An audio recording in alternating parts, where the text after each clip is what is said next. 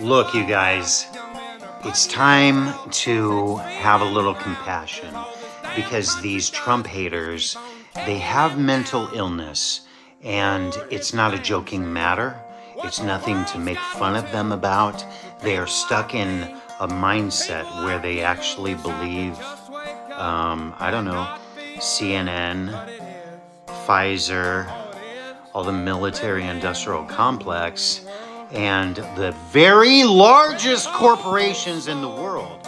So, obviously, lunatics, we don't use that word anymore. Listen, you guys, compassion, we have to have compassion. We can't make fun of these idi- uh, um, pe- these people. We can't make fun of them. Come on, come on now.